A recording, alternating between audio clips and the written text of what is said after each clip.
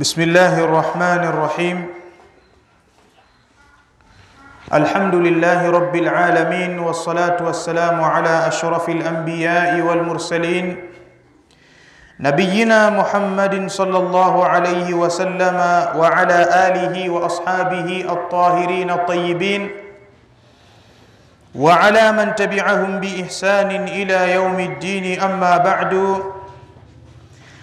hatuna budi kumshukuru Allah subhanahu wa ta'ala ambaye kwa rehma zake na taufiki yake ndiyo leo tumekutana katika maeneo haya katika vijiji vya CU.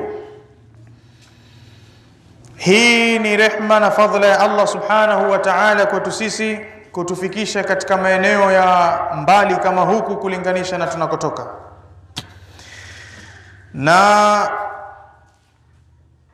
hii ni dalili ya kwamba Allah subhanahu wa ta'ala anatupenda. Kwa hakika Mtume sallallahu alayhi wasallam anasema inna Allaha idha ahabba abdan ista'malahu, hakika Allah subhanahu wa ta'ala endapo anapompenda mja wake, ista'malahu, humtumia katika mambo ya kheri kwa hivyo yoyote ambaye anajiona kwamba Allah anamtumia katika mambo ya kheri, ajibashirie kheri katika nafsi yake, kwa sababu hiyo ni dalili ya wazi yenye kuonyesha kwamba yeye anapendwa na Allah subhanahu wa ta'ala, na aichunge vizuri nafasi hiyo aliyopewa na Allah subhanahu wa ta'ala. Lakini hilo ni jambo la kwanza. La pili ni lile ambalo limetukusanya katika maeneo haya katika madrasatu Nahdha harasaha Allah tabaraka wa taala, ni kuhusiana na kuzungumziana moja kati ya mambo mawili, ikiwa muda utaturuhusu. Jambo la mwanzo ni jambo ambalo limekuwa ni thamani katika Uislamu kwa upande wa mwanamke, lau kama atalifahamu mwanamke mwenyewe. Atatega sikio vizuri akasikiliza kwa nini sheria yetu ya Kiislamu imemwekea yeye jambo hilo, na badala ya hapo akalifanya kwa, kwa ajili ya kumridhisha Mungu muumba tabaraka wa taala, ajue faida za kulifanya jambo hilo, kwa sababu wengi katika wanawake wetu hawakulifahamu jambo hili, na wale ambao wamelifahamu basi wanalifanya si kwa ajili ya Mwenyezi Mungu Subhanahu wa Ta'ala, kwa sababu ya kutokujua zile fadhila na sababu na faida za kuwekwa jambo hili ambalo tutalizungumza hivi sasa hivi sasa katika muda huu mfupi insha Allahu Ta'ala. Si jambo jingine isipokuwa ni jambo la hijab, alhijabu shar'i, hijabu ya kisheria ambayo anatakiwa mwanamke wa Kiislamu kuivaa hijabu hiyo. Kwa nini sheria yetu ya Kiislamu ikamwekea mwanamke wa Kiislamu awe akitoka anatoka katika mazingira ya hijabu, bali sheria yetu ya Kiislamu ikataka asili ya makaazi na harakati na pirika za mwanamke wa Kiislamu ziwe ni ndani ya nyumba tu akitoka ametoka kwa dharura ambayo hakuna budi atoke. Basi hapo atakapotoka asitoke ovyo ovyo, lazima atoke katika miiko ambayo sheria imemtaka atoke, na kwenye hilo kuna faida kubwa ambazo Allah subhanahu wa ta'ala amemkusanyia mwanamke katika kule kujiweka katika hijabu ya kisheria, yaani kujiweka katika stara ambayo itazuia kuleta fitna katika mgongo wa ardhi baina ya upande wa wanawake na upande wa wanaume.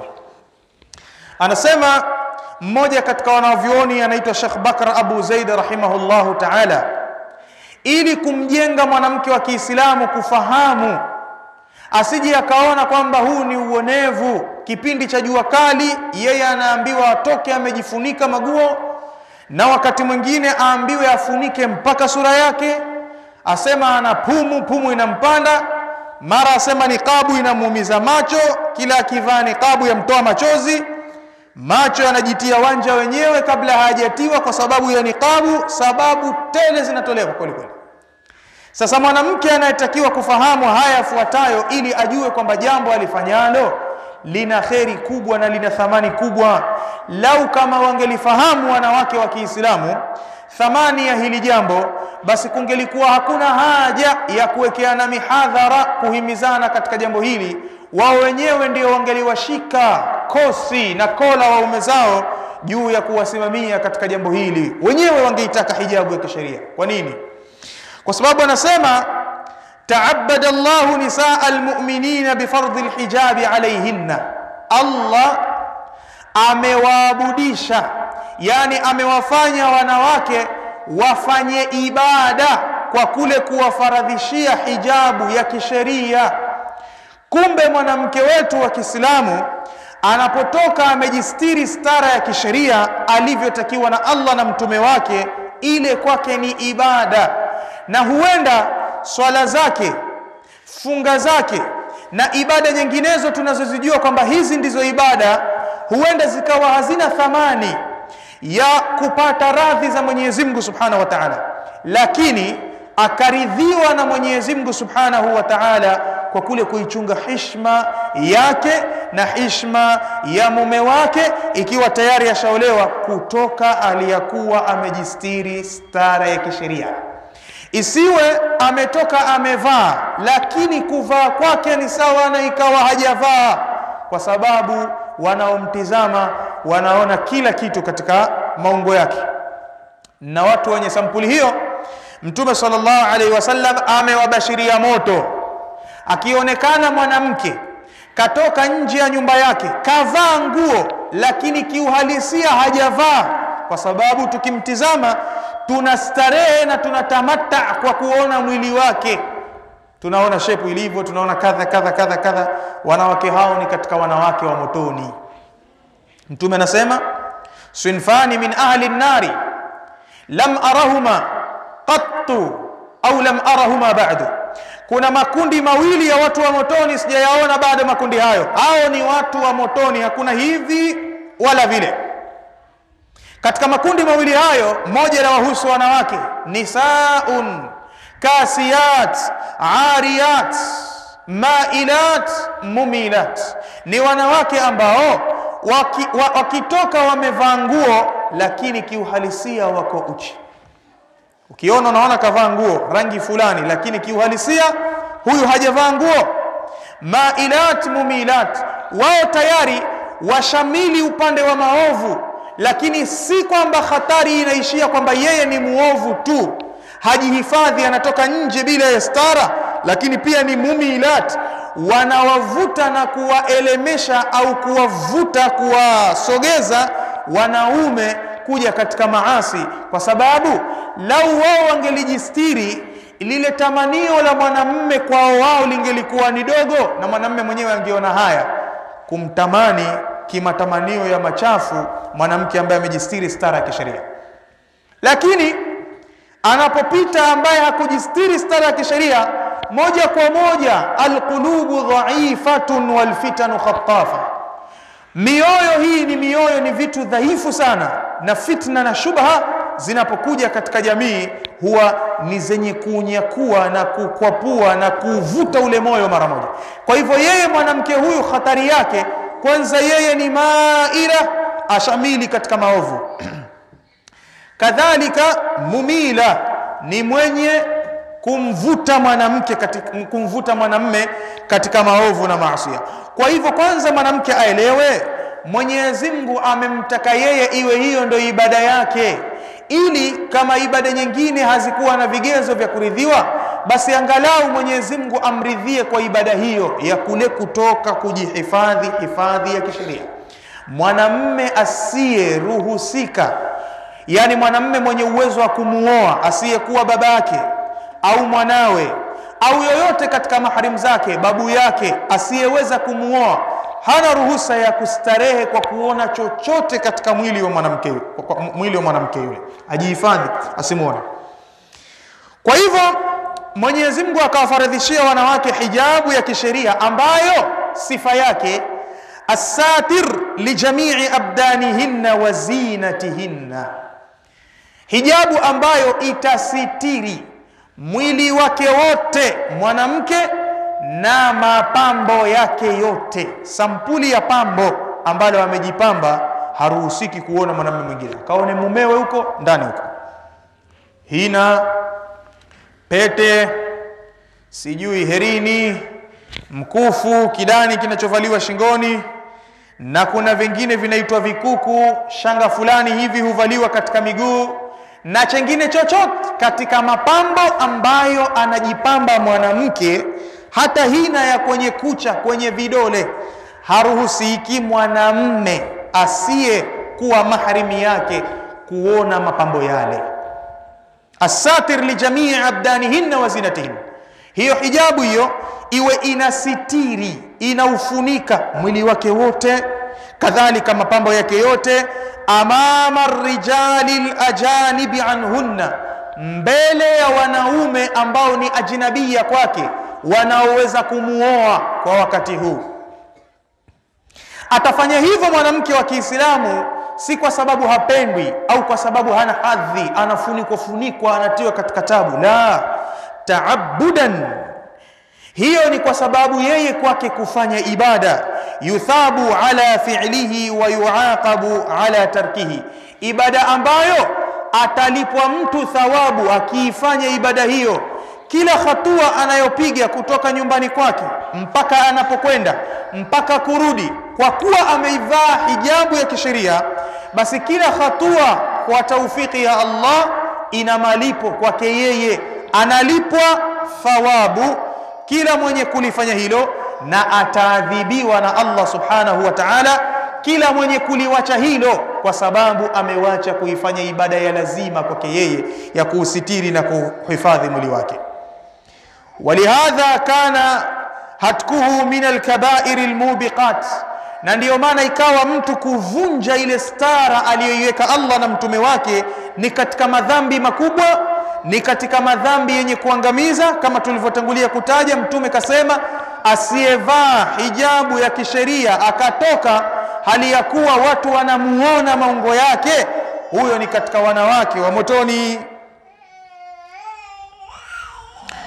wayajuru ila alwuqui fi kabairin ukhra, lakini pia jambo hili linapelekea wanadamu kuingia katika madhambi makubwa mengine mengine kama madhambi ya uchafu wa zinaa na mengineyo, kwa kuto kujistiri wanawake katika hali kama hizo. Mithlu, mfano wa madhambi makubwa ambayo mwanamke ataingia katika madhambi hayo na Allah atamwadhibu kwa madhambi hayo endapo hajavaa hijabu ya kisheria.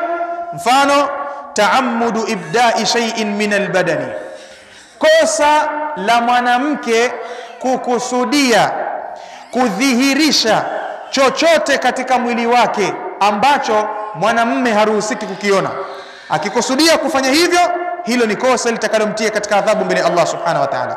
Kadhalika, wataamudu ibdai shay'in min az-zinati al-muktasaba, kadhalika mwanamke kukusudia kudhihirisha mapambo yake, wa fitnati al-akharina, lakini pia kuwafitini wanaume wengine mbalimbali, ila ghairi dhalika min afati adami liltizami bilhijabi shar'i, na mengineo katika makosa mbalimbali ambayo yatapatikana kwa kule mwanamke kuto kujilazimu na hijabu ya kisheria. Haya maneno haya ndiyo yatatufungulia mazungumzo yetu yanayolenga kumfahamisha mwanamke faida za yeye kuvaa hijabu ya kisheria au kwa nini Mwenyezi Mungu Subhanahu wa Ta'ala akamtaka mwanamke avae vazi la kisheria, na vazi hilo wasilazimishwe wanaume kujifunika funika kadha kadha. Yeye mwanamke, mwanamke ni chuo, mwanamke ni nguzo. Ikitengemaa nguzo hiyo, jamii imenyooka, imetengemaa. Ikiharibika nguzo hiyo, hakuna jamii yenye maendeleo katika pahala popote katika ulimwengu ule. Jambo la kwanza katika mambo ambayo yamempelekea sheria yetu ya Kiislamu imlazimishe mwanamke kuvaa hijab, lakini pia kwa upande wa pili ni faida kwa yule mwenye kuvaa hijabu.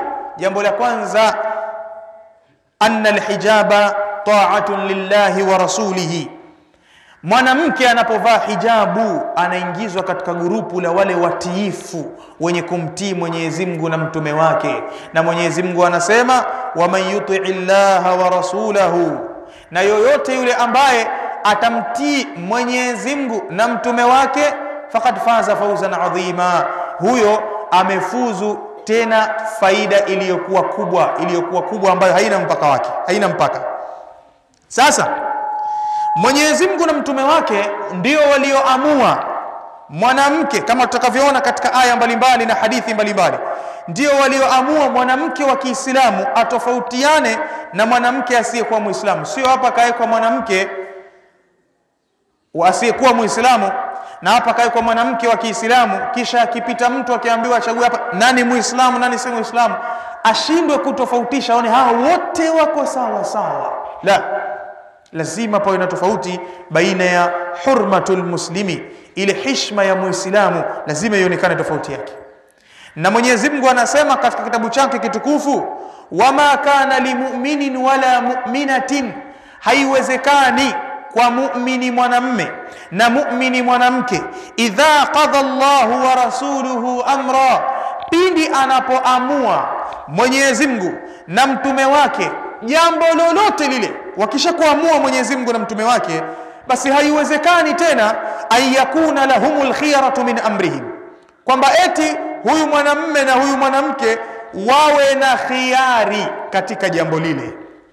Kwa hivyo tukizisoma aya na hadithi zenye kuonyesha kwamba Mwenyezi Mungu na mtume wameamua mwanamke avae hijabu ya kisheria akitoka nje, maana yake hakuna khiari kwenye hilo, kwa sababu aya ya Qur'ani inasema an yakuna lahumul khiyaratu min amrihim, haiwezekani mumin wa kweli mwanamme na mumin wa kweli mwanamke eti awe na khiari, nikitaka nitafanya, nikitaka sifanye, haiwezekani.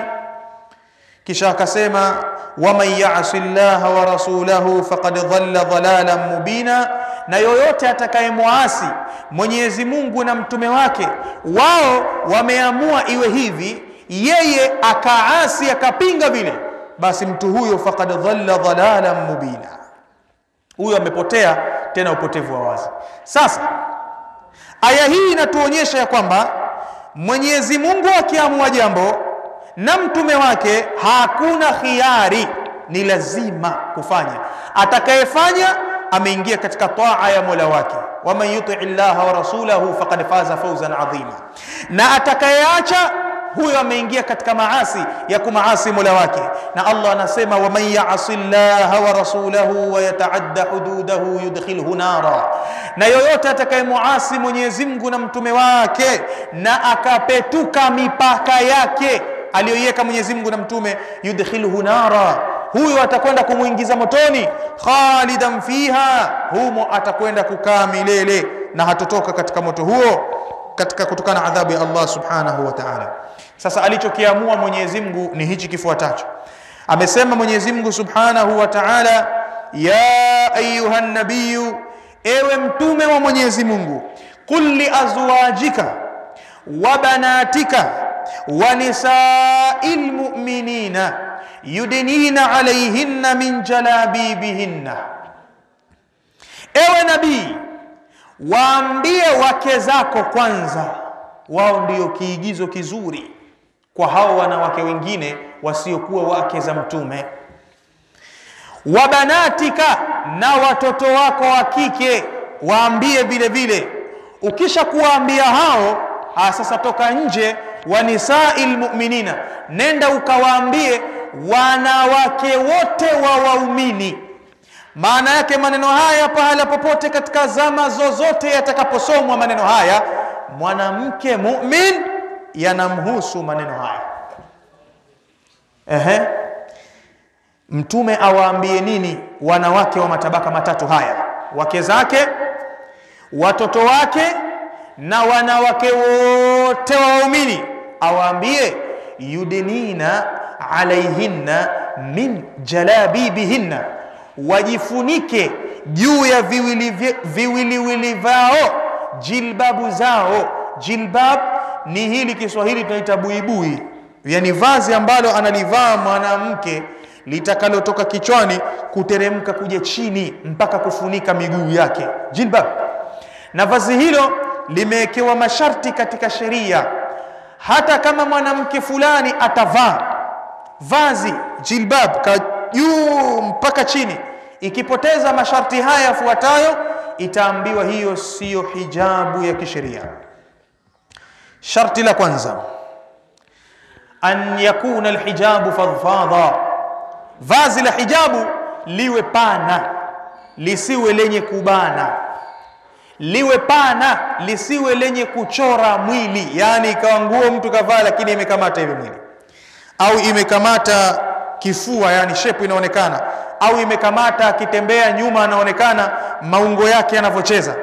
Sio kwamba anapigwa na upepo mathalan, maana kuna wakati mwingine mtu anaweza akavaa vazi zuri mwanamke, lakini kwa sababu maumbile ya mwanamke ni maumbile yenye kujezia jezia, kuna sehemu zake ni tofauti na mwanamume kama kifua, mgongo na sehemu nyinginezo. Kwa hivyo akiwa anatembea upepo unaweza ukampiga, ukimpiga shepu inajichora. Hiyo ni, sam, hiyo ni hali nyingine mbali ambayo Mwenyezi Mungu hawezi kumwadhibu kwa sababu hiyo ipo nje ya uwezo wake. Lakini yule ambaye atavaa nguo ikakamata mwili, sharti la kwanza an yakuna alhijabu fadfadha, nguo liwe ni pana lisilokamata mwili. Sharti la pili an yakuna wasia, iwe ni yenye kutosha. Likishakuwa pana lile guo limekwisha kuvika mwili wote, basi iwe ni yenye kutosha kutokea juu mpaka chini, ifunike miguu. Mtume sallallahu alaihi wasallam aliposema kuwaambia wanaume wa Kiislamu wasivae nguo refu zikavuka vifundo vya miguu, wanawake wa Kiislamu katika zama za Mtume wakamwambia, na sisi wanawake tuvae vipi? Maana tukivaa kama hivyo wanavyovaa wanaume, ikawa nguo zetu zinafika kwenye vifundo vya miguu tu, miguu yetu itaonekana, wanaume watatuona, na wakiona miguu yetu ni miguu tutakuwa tayari tushakaa uchi, tufanyeje? Akawaambia yurkhina shibran, mwanamke basi haya arefushe chini shibri moja kutoka kwenye kifundo cha mguu, kile kitambaa kipimwe shibri moja kiengezeke chini ili kifunike miguu yake. Wanawake bado wakamwambia Mtume saa sallam, bado tutakuwa tunaonekana hapo miguu, shibri moja ni ndogo. Mtume akasema yurkhina dhiraa, basi waongeze dhiraa moja kitambaa ambacho kitaburuta nguo ya mwanamke, ili kama ana wasiwasi wa kuonekana miguu yake, basi karuhusiwa kurefusha mpaka dhiraa moja hivi. Yote hii ni nini? Yote hii ni stara, asionekane chochote. Bado wanawake wakamwambia Mtume sallallahu alaihi wasallam, bado hapo hatujajistiri vizuri. Mtume saa alaihi akakataza zaidi ya hapo, akasema hakuna ruhusa mwanamke kuvaa nguo ikishakugusa chini ya ardhi ikawa na urefu wa zaidi ya dhiraa moja. Ikizidi tena huko, hiyo itakuwa ni israfu, na israfu haitakiwi katika sheria. Dhiraa moja azidisha. Kwa hivyo sharti la pili, baada ya kwamba ile nguo ni pana, haikamati mwili, haichori, sharti la pili, ile nguo iwe ni wasi, yenye kutosha katika mwili, inafunika mikono, isije kiguo mpaka hapa, mkono unaonekana, au mpaka kwenye miundi ya miguu, chini kunaonekana. La, hiyo sio hijabu ya kisheria, hata kama litakuwa pana kama sijui kitu gani, sio hijabu ya kisheria. Hilo ni sharti la pili. Sharti la tatu, alla yakuna alhijabu raqiqan, isiwe kile kitambaa ni kitambaa chepesi. Maanake inawezekana ikawa hicho kitambaa ni kipana, yani hijabu ni pana amevaa. Pili, inatosha kutoka juu mpaka chini, ishafunika vizuri, lakini tatizo ni kitambaa ambacho ni shafafu. Alla yakuna shafafa, kisiwe ni kitambaa ambacho ni transparent. Akikutizama mtu anaona rangi ya ngozi, yani anaona kwa ufupi, anaona vile ulivyo. Kitambaa kinatakiwa kiwe ghalidha, kiwe kizito, ambacho hakiwezi kuonyesha ndani mtu alivyo. Haya ni masharti matatu, na sharti la nne, isiwe ni vazi lenye kuvutia, yani lenye mapambo, maua maua fulani hivi, marangi marangi fulani, marembo marembo fulani hivi. Aa, hayo hayo marembo hayo kule kwa bwana mkubwa, ndani kwa mume. Ukija huku nje huku hakuna ruhusa ya kujipamba huku. Unampambia nani? Na wewe ushaolewa? Hata kama hujaolewa kule mapambo. Huku nje mwanamke hataki kutoka na mapambo. Wala tabarrajna. Allah amewakataza wanawake msitoke na mapambo. Tabarruja aljahiliyati alula. Kama walivyokuwa wanajipamba wanawake wa zamani. Pia ilo vazi ilo sharti la nne na sharti la tano lisiwe na manukato yoyote. Manukato yenye kuvutia. Yule atakayesikia sema ah, hapa kweli kapita mtu hapa. Ah, ah. hayo ni ndani kwa mume. Akiwa ndani mwanamke ajifukize udi sijui chochote ajifukize mpaka kichwa kimuume atakavyotaka akija nje huku asitoe harufu itakayoleta fitna kwa wana kwa, kwa watu yani kwa wanaume. Na mtume kasema mwanamke yeyote atakayetoka nyumbani kwake amejitia manukato ili watu wasikie harufu yake huku nje huyo anahesabiwa kuwa ni mzinifu mpaka arudi ndani ya nyumba. Dhambi ya uzinifu ya bure haina sababu ya msingi mpaka kwenye nyumba. Na kwa masikitiko kesi wakati mwingine zinakuja hawa wanawake wanaotoka nje wamejipamba na nguo nzuri nzuri na manukato mazuri mazuri ndani kwa mabwana zao. Hawafanyi hivyo. Bwana akirudi chumba kinanuka kama amekufa ng'onda ndani mule. Kitanda akijatandikwa mwanamke yuko ovyo ovyo. Ananuka moshi wa kuni. Hiyo ni kwa mume hiyo lakini akitaka kutoka huyo anakoga anajisugua na nini. Hata kama hana mafuta mazuri atakwenda kutafuta mchaichai ajisugulie ili mradi tu apate harufu. Harufu ya mchaichai hivi ndivyo walivyo baadhi ya wanawake. Na hii ni laana ambayo mtume sallallahu alaihi wasallam ametangaza. Kwa hivyo tumetaja haya mambo matano ili hijabu ya kisheria ikubalike kwa mwanamke ni matano haya. Kwanza vazi liwe pana pili hilo vazi lisi, liwe ni wasia lenye kufunika juu mpaka chini lisionyeshe kitu. Tatu lisio, lisiwe ni kitambaa chepesi ambacho kinaonyesha ndani. Mtu akitizama anaona ndani kulivo. Nguo za ndani zinaonekana rangi yake almuhimu asione mtu ndani. Nne lisiwe ni la mapambo likawa na maua maua mashepu, mashepu fulani hivi mabangladesh mabangladeshi fulani hivi lisiwe la mapambo kila likiwa halina rangi jeusi fulani hivi ndo zuri hilo. Akikosa mtu nyeusi anaweza akavaa nyingine. Lakini nyeusi ndo nzuri isiwe na mvuto isilete fitna katika jamii. Tano lisiwe na manukato yoyote yatakayoleta fitna. Kwa hivyo faida ya kwanza au sababu ya kwanza ya kuwekwa hijabu ya kisheria ni ili wanawake wetu wa kisheria wawe ni watiifu kwa Mwenyezi Mungu na mtume wake. Hichi ni kipimo cha kwanza, wanapimwa. Wewe kweli ni mtiifu kwa, mu, kwa Mungu wako na mtume wako? Unatizama hapa kwenye hijabu, hapa kwenye hijabu hapa. Haya, hilo ni jambo la kwanza. Jambo la pili, katika malengo ya kuwekwa hii hijabu ya kisheria ni kuinuliwa yule mwanamke kufikishwa katika daraja ya imani. Na daraja ya imani ni daraja kubwa si mchezo. Walikuja wali watu kwa mtume sallallahu alaihi wasallam wakamwambia sisi tushaamini tufundishe dini sasa. Ikateremka aya Mwenyezi Mungu Subhanahu wa Ta'ala akamwambia mtume qalat al-a'rabu amanna. Walisema hao mabedui kuja kwa mtume kumwambia tushaamini sisi tufundishe dini. Kaambiwa qul Muhammad waambie lam tu'minu nyinyi bado hamjaamini. Mtu kuwa na imani ni daraja kubwa. Hamjaamini bado. Walakin qulu aslamna. Lakini semeni mshasilimu.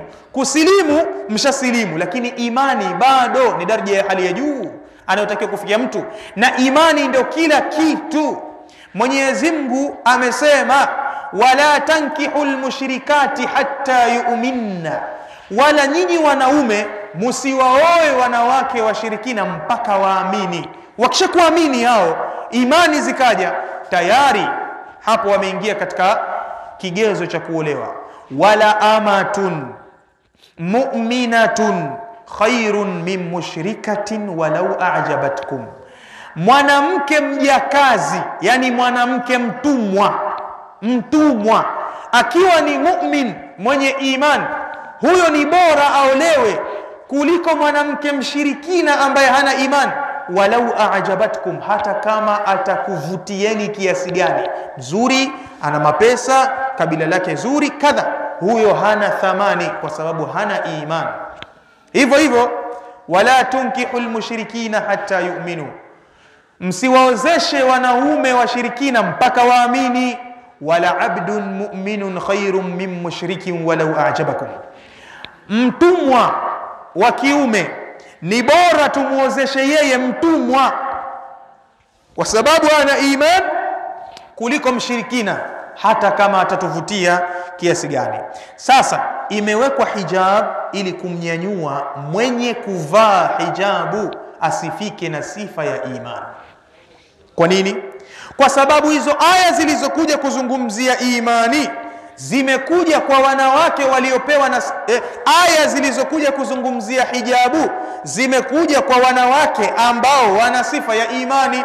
Aya ya kwanza katika suratu nur Mwenyezi Mungu alisema waqul lilmu'minati anaambiwa mtume sallallahu alaihi wasallam awaambie waumini wa kike waqul lilmu'minati yaghdudna min absarihinna ويحفظن فروجهن ولا يبدين زينتهن إلا ما ظهر منها waambie wanawake waumini bimaana watakaofuata maelekezo haya wamepata ile sifa ya imani hii ni katika faida yataka wewe mwanamke ujifahamu utoke katika level za juu za chini uje katika level za juu za imani kwa sababu wenye imani ndio wamekusudiwa hapa katika haya kadhalika katika suratul ahzab katika aya iliyotangulia kuitaja Mwenyezi Mungu alipomwambia waambie wake zako na watoto wako kisha akamwambia wanisail mu'minina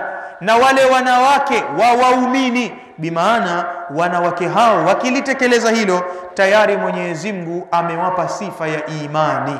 Bimaana ukigeuza kinyume chake wakito lifanya hilo. Kama hawajafanya jambo hilo basi itakuwa ni sababu au alama kwamba imani zao haziko vizuri mbele ya Mola wao tabaraka wa taala. Kadhalika hijabu jambo la tatu imewekwa hijabu ya kisheria mwanamke avae lengo katika malengo. Alhijabu taharatun liqalbi almar'ati warajul hijabu ni tahara ni utakasifu kwa mwanamke na mwanamme kutoharisha mioyo yao kutokana na uchafu. Kwa nini? Mwenyezi Mungu Subhanahu wa Ta'ala alipokuwa anawaambia maswahaba hapa nataka tufahamiane vizuri hapa. Mwenyezi Mungu anawaambia maswahaba wa mtume sallallahu alaihi wasallam wa idha sa'altumuhunna mata'an pindi mnapokwenda kuwauliza kuzungumza na wanawake wa mtume. Jambo lolote lile fasaluhunna min warai hijab. Basi waulizeni nyuma ya hijabu. Usiende tu ukavamia kabla ya hijabu kabla ya kujistiri au ikawa yuko hivi watizamana naye wazungumza naye mwaonana macho kwa macho. La mwanamke atakiwa kukaa kona hivi. Hakuna ule mushafa. Hii ni hatari sana hii. Hapo yani kitu ambacho tunatakiwa kukizingatia hapa anayeambiwa hivyo ni sahaba wa mtume saa sallam na mwanamke ni mke wa mtume saa sallam sasa geuza kinyume vipi mwanamme akiwa si sahaba? Ni mimi na wengine na mwanamke si mke wa mtume. Vipi watahusika katika hili? Ikiwa sahaba anaambiwa hivi ukizungumza na mke wa mtume usikae tu hivi uso kwa macho. Aa, min warai hijab nyuma ya hijabu. Hakikisha amevaa vazi la stara. Kwa nini? Dhalikum atharu liqulubikum wa qulubihinna. Hilo ndiyo litapelekea kutoharisha kusafisha nyoyo zenu nyinyi wanaume na nyoyo zao. Maana katika kutizamana bila ya hijabu linapelekea kuharibu mioyo wakati watu wanazungumza mwanamme na mwanamke wanaonana midomo inavyokwenda macho sijui mikono mara hivi yote yale yanasababisha kitu. Na huwezi kujua wanaume na wanawake wameumbwa tofauti tofauti. Kuna baadhi ya wanaume wanaathirika sana kwa kuona nyusi tu za mwanamke zilivyokaa. Ile nyusi ile yeye ndo ishamfanya halali usiku kucha anahesabu boriti tu anawaza. Eh, eh, anza huku anamaliza Anza huku, anamaliza kule. umeona nini rafiki yangu wewe? Kaona nyusi. Kuna mwingine sio nyusi ni midomo ilivyokaa. Kuna mwingine si mdomo ni lile tabasamu. Kuna mwingine meno kuna mwingine pua kuna mwingine kucha zili yani tunaathirika wanadamu kwa sampuli tofauti tofauti kila mmoja na kile kinachomwathiri. Mwingine jicho hakadha ndio maana sheria ikamtaka mwanamke funika. Hata mwanamke akizungumza na mwanamme katika mlango wa hijab hatakiwi kuzungumza naye kwa sauti yake ile ya kike. Atakiwa kidogo aikaze kaze kidogo sauti. Mwenyezi Mungu aliwaambia wake za mtume wala takhdha'na bilqawli msiregeze sauti. Fayatma'a alladhi fi qalbihi marad ili akaja akatamani yule mwanamme ambaye ndani ya moyo wake kuna maradhi ya uzinifu sauti peke yake inaweza ikamwathiri mtu. Akawa "Da, huyu sauti tunazungumza kawaida tu iko hivi. Je huyo tukiwa ndani sauti itakuwaje huyu? Hapo mambo yakaanza kuharibika. Ndo mmoja katika masahaba akasema mwanamke akiwa anazungumza na mwanamme hivi basi atakiwa ili sauti semake sauti ya mwanamke kawaida ni sauti ya nyororo nyororo fulani hivi tena ikiengezwa unyororo ndo kifo hicho. Sasa mwanamke huyu azungumze vipi na mwanamme? Kwanza wasitizamane macho chini. Mwanamme macho chini mwanamke macho chini. Hilo litapelekea kidogo ku, kuondosha ile fitna. Pili hiyo sauti ya mwanamke ili isiwe nyororo basi anatakiwa anasema wewe sahaba mwanamke atie kidole hivi kwenye sha, kwenye shavu ah. Eh, ndio sauti ya mwanamke sasa. Ndio mpaka yule mwanamme asivutike na ile sauti. Hakuna habari za kuzungumza na mwanamume huku arambaramba mdomo huku mara wavutavuta sijui nini majani hamna kijeshi jeshi wasemaje kule. Imekwisha. Ili hawa wanaozungumzwa hivi hapa ni wake za mtume ndo wanaambiwa msiregeze sauti ili mwenye moyo mchafu akatamani. Mwanamme ni sahaba mke ni mke wa mtume. Wanaambiwa hivyo. Na hapa wanaambiwa wanaume mkizungumza na hawa wanawake iwe kuna hijabu. Hakuna hivi kwa hivi kwa sababu ni hatari lengo lake ni nini? Dhalikum atharu liqulubikum wa qulubihim, hilo litapelekea kutoharisha mioyo yenu na mioyo yao. Zisiingie chembe chembe za uchafu za kutamaniana. Hayo ndio katika malengo makuu ya hijab ambazo zimewekwa katika uislamu.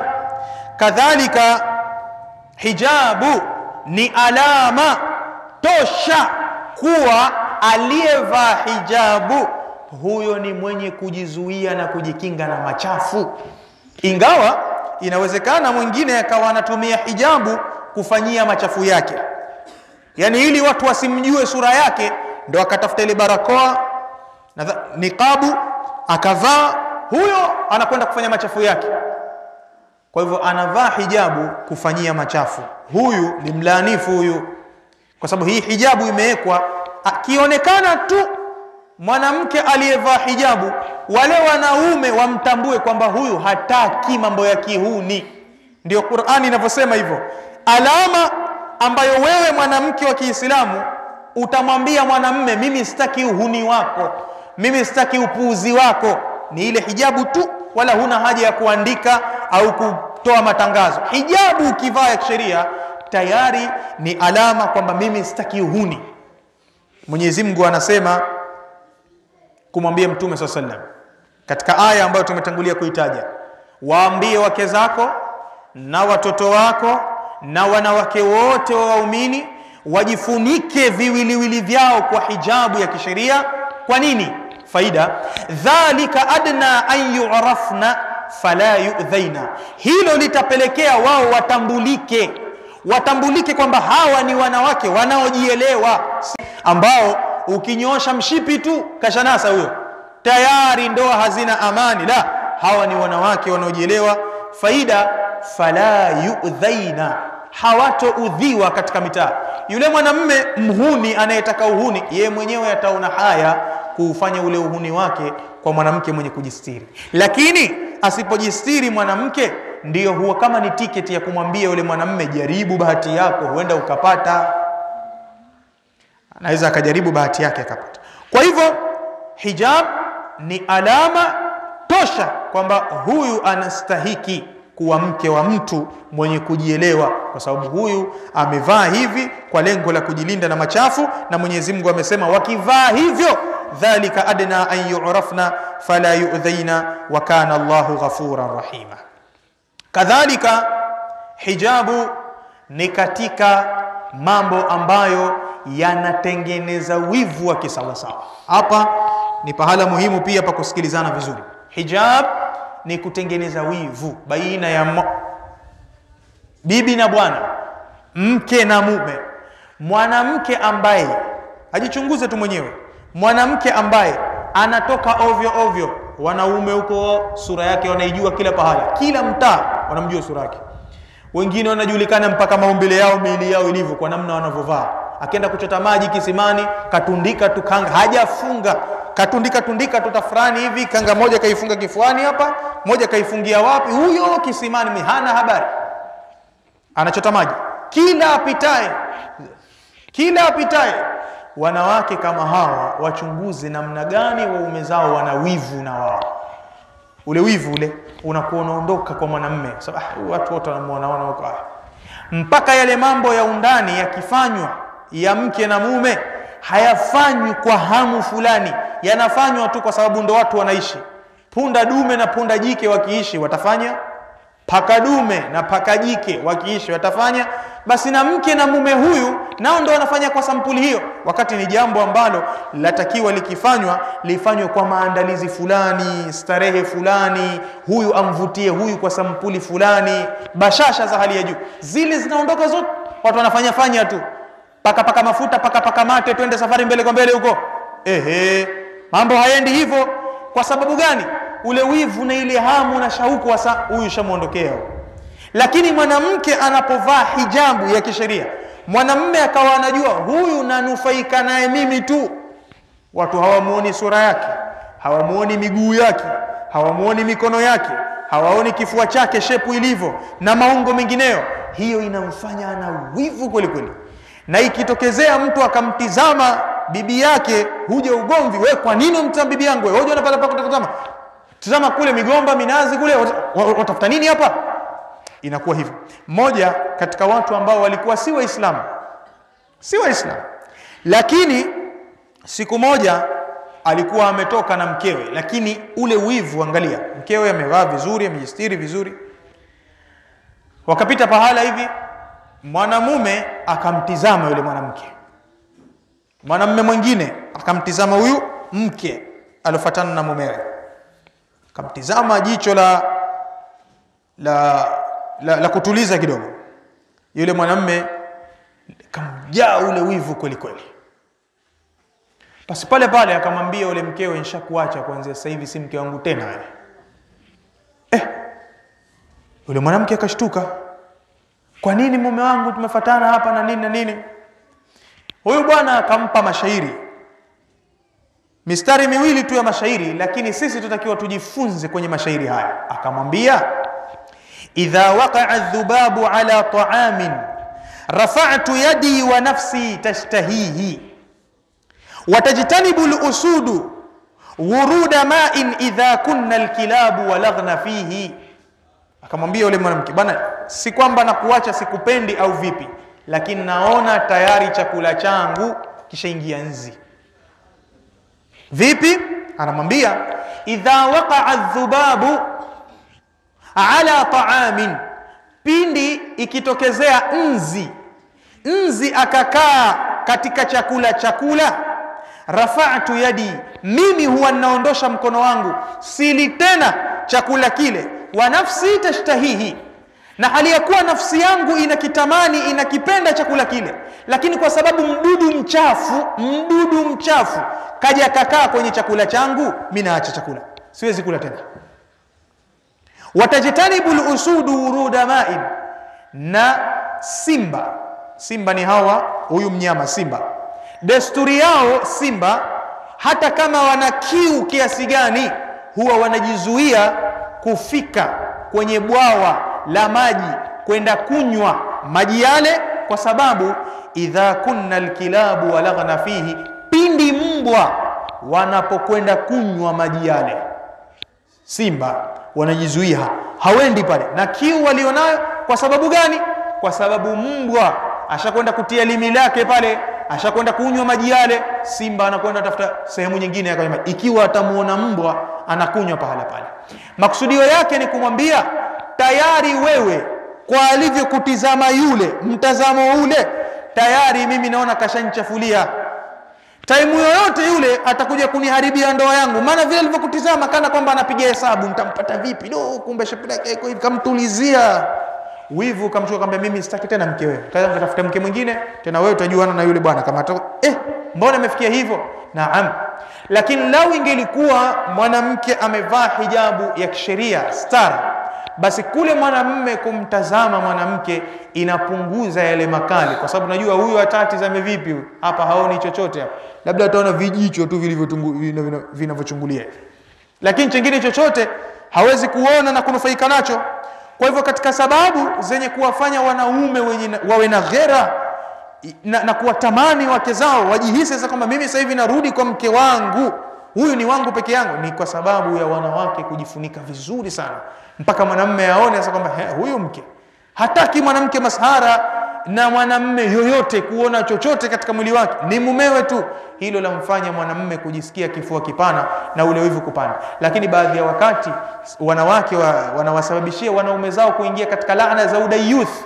Udayuth ni mwanamme kutokuwa na wivu, yaani mwanamme anakuwa hajali kabisa mke wake, asimama na mtu azungumza naye, mke wake anakosha vyombo nje pale na ile nguo yake ile kanga ile kachukua chukua kaipachika hapa katikati hivi, maguu yako wazi mwenye huyo na vijimbo jimbo vyake fulani hivi, anakosha vyombo. Akipita jirani kamsalimia, kamrembelea macho, ujambo jirani, huyo. Mambo anaendelea hivi, na mume naye yuko pale pale. Pale pale, anamuona mkeo wakati mwingine kafunga kanga, mgongo uko wazi, alimradi mashaka mashaka matupu. Mwanamke kanga kaitundika tu hivi juu ya kichwa, nywele zinaonekana, mume hajali. Huu ni udayuth, na Mwenyezi Mungu Subhanahu wa Ta'ala hatomtazama kwa jicho la huruma mwanamme yoyote asiyekuwa na wivu na mkewe. Sasa huu wivu unaondoka kwa sababu wanawake wako ovyo, kila mmoja anawaona, hijabu hakuna, wivu unapotea moja kwa moja. Lakini mwanamke ambaye anaengwa engwa, anahifadhiwa vizuri aa, automatically ule wivu unakuja kwa sababu mtu mume anajua hichi ni chango. Huyu mwingine akitaka kujiingiza hapa huwa anatafuta vita. Mwisho nimalizie na haya ni mengi katika mambo yenye kuzungumzia masala ya hijabu ya kisheria na kwa nini hasa sheria yetu ikaweka wanawake wa Kiislamu wawe wanavaa hijabu pindi wanapotoka. Hayo tuliyotangulia kuyataja ni machache, lakini kwa mnasaba wa kikao chetu kwa vile hiki ni kikao cha kike, basi kuna baadhi ya mambo muhimu lazima tuyazungumze japo kidogo. Nataka nifungie kikao changu kabla ya kutoa fursa ya maswali kwa hadithi ya Mtume sallallahu alaihi wasallam, ambapo Mtume sallallahu alaihi wasallam anasema, tusikizane vizuri. Anasema Mtume sallallahu alaihi wasallam, idha sallat almar'atu khamsaha wa samat shahraha wa hafidhat farjaha wa ata'at ba'laha qila laha yawma alqiyamati udkhuli aljanna min ayi abwabiha athamaniyati shi'ti. Hadithi ndogo sana, lakini inafungua mlango wa matumaini makubwa kwa mwanamke wa Kiislamu. Anasema Mtume, idha sallat almar'atu khamsaha, mwanamke akiswali swala zake tano vizuri tu, wasamat shahraha, na akaufunga mwezi wake wa Ramadhani vizuri tu. Kama Ramadhani ataingia katika ada yake ya mwezi, basi ikimalizika Ramadhani alipe zile siku alizokula. Wahafidhat farjaha, na akauhifadhi utupu wake asione yoyote zaidi ya yule anayestahiki kuona. Wa ataat baalaha, na akamtii mumewe, asiwe na sauti yeye juu ya mumewe, asiwe na amri yeye juu ya mumewe, wala asiwe mkorofi yeye kwa mumewe. Mume akimwamrisha jambo lolote madhali halijakhalifu maelekezo ya Mwenyezi Mungu na Mtume, mwanamke ni lazima kulifanya jambo hilo, siyo khiari. Hata kama mume atamwambia mwanamke, ukipanda juu ya kitanda nataka upande kwa mguu wa kushoto, kwanza ndo unatanguliza mguu wa kushoto, kisha ndo wa kulia unafuata. Basi kuanzia siku hiyo akishakuambiwa hivyo, yule mwanamke akipanda kwa mguu wa kulia anapata dhambi, tena dhambi nyingi tu, kwa sababu amri ya mume kwake yeye ni lazima, sio khiari. Madhali si katika mambo ya kumasi Allah subhanahu wa ta'ala. Na kwa masikitiko, wanawake wengi wanakosa pepo kwa sababu ya mambo madogo madogo kama haya. Mambo haya manne mtu akiyafanya, Mtume kasema siku ya Kiyama ataambiwa udkhuli ljanna min ayi abwabiha thamaniyati shiti, ingia peponi kwa mlango wowote utakao katika milango nane hii ya pepo. Afanyeje? Aswali swala zake tano, swala mtu anazoswali nyumbani, afunge Ramadhani, Ramadhani anaifungia nyumbani, ahifadhi utupu wake, anajihifadhi akiwa ndani, na amtii mumewe na mume hutiiwa akiwa ndani. Yaani pepo imekusanywa ndani ya nyumba yake mwanamke. Mambo manne tu ataambiwa siku ya Kiyama, ingia peponi kwa mlango wowote utakao, chagua mmoja hapa.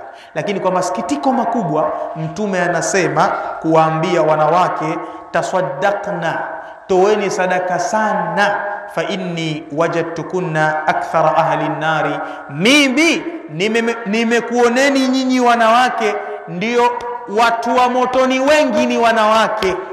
Hatizama mambo hayo, watu ambao pepo yao imekusanywa katika vijambo mambo manne, aiti wao ndio watakwenda wengi motoni. Yani ni kinyume nyume, yani wanawake na wanaume, ukilinganisha wanawake idadi yao ni nyingi motoni kuliko wanaume, pamoja na kwamba wao ndo pepo yao ndogo. Yani yakae ndani akishakuolewa aseme basi nusu ya dini ashaipata ya ndoa. Sasa kilichobaki ni kuitafuta pepo. Swali swala zako tano kiukamilifu, funga Ramadhani kiukamilifu, usisengenye watu, mtii mumeo, vaa hijabu ya kisheria, asikuone yoyote isipokuwa mumeo. Manne hayo, siku ya Kiyama uambiwe haya, wewe umepasi, ingia peponi. Eti wanawake wengi ndo watakwenda motoni kwa wingi baada ya ofa kama hii. Mwanamke wa Kiislamu hatakiwi kuwa na uzembe kiasi kama hicho. Na jambo kubwa katika hayo ni taa ya mume. Anapomtii mwanamke mumewe kisawasawa, na tunatakiwa tufahamu Mwenyezi Mungu kampa pawa mwanamme ya utiifu zaidi kuliko mwanamke, mpaka Mtume anasema sallallahu alaihi wasallam, lau kuntu amiran ahada, lau ingelikuwa na uwezo wa kumwamrisha mtu an yasjuda li ahadin, amsujudie binadamu mwenziwe. La amartu almar'ata an tasjuda li zawjiha, ningelimwamrisha mwanamke amsujudie mumewe, liidhami haqqihi alaiha, kwa ule ukubwa wa haki ya mume kwa upande wa mwanamke. Angeliambiwa mwanamke, wewe mume wako akirudi nyumbani, ile akiingia tu poromoka chini, sujudu. Lakini kwa sababu haifai kusujudu isipokuwa asujudiwe Allah subhanahu wa ta'ala haifai kumsujudia mume, haifai kusujudia kaburi, haifai kusujudia chochote isipokuwa Allah subhanahu wa ta'ala. ndio maana mwanamke hakuamrishwa hivyo. Kwa hivyo ninasaha kwa wanawake wa Kiislamu, jambo la taa ya waume zao ni jambo la ibada kubwa kwao, na akifariki mwanamme hali ya kuwa ako radhi na wewe, hiyo ni ticket kubwa sana ya mwanamke kuelekea katika pepo. Usinyanyue sauti ikawa sauti yako ni juu ya mumeo, tena ukawa unaona ni ufahari. Ukikaa na wenzio, unaambia mimi nakushangaeni nyie. Wanaume wanakupelekeshani pelekeshani, we mie mie he, mie aniletea upumbavu huo, tamweka chini pale, ntamnyonyoa vizuri, ndo hodari huo. Hiyo ni alama ya huyu mwanamke ni mwovu.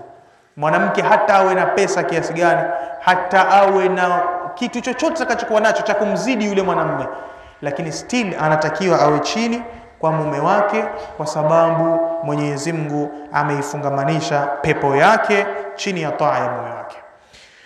Wacha nistopie hapa.